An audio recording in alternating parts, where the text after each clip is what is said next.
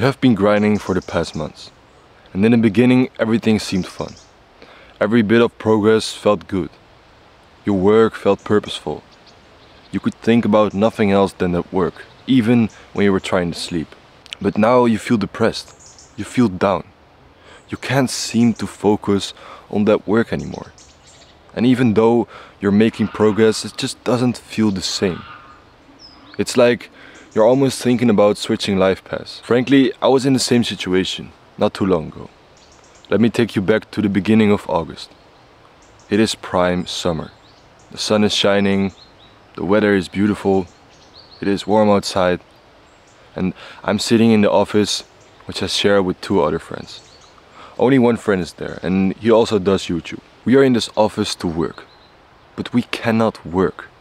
Our mind is filled with thoughts and doubts, and we just don't feel that spark anymore that we felt when we just started. We are talking about why the path that we had chosen isn't working yet. Maybe we just need to switch up our content style. Maybe we need to upload less.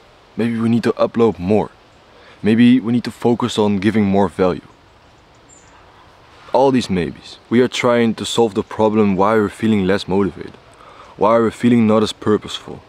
Why our ideas do not come as fluidly as before. And why we don't feel the spark that we used to feel. And about a week or so later we knew why.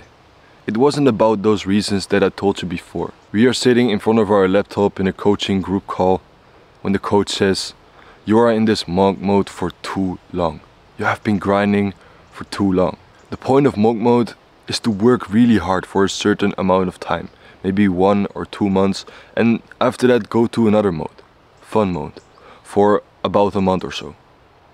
If you are in this monk mode, in this grind mode for too long, your results will start to deteriorate.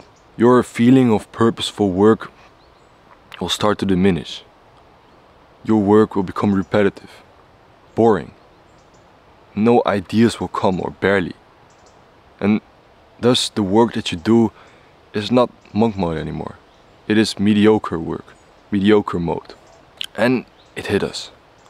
Online, you hear everyone talking about monk mode, about grind mode, or however they call it. This, this mode when you're working really hard, when you're on this grind and no one can stop you, you're not giving in to distractions, but you hear no one talking about fun mode, which is essential if you want to go on a monk mode, if you want to go on a grind season. In the beginning of October, in about one week, I'm going on a road trip with the friend of mine that also does YouTube.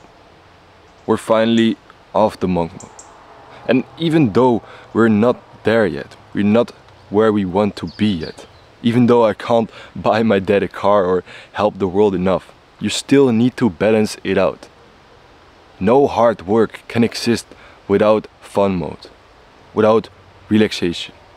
Otherwise, hard work wouldn't be called hard work, right? To sum up, you need to get out of it. Now, even though you are not yet there, even though you are not yet where you want to be in life, it is necessary if you want to grow. Look, overworking is a real thing, and I never thought that I would say this, right? Back in the day, I always used to think that overworking was just something that weak people would say. But it is in fact true, especially if you're working really hard, especially if you're deep working for an extended amount of time. Take a break. Let's make the world a better place. And I'll see you.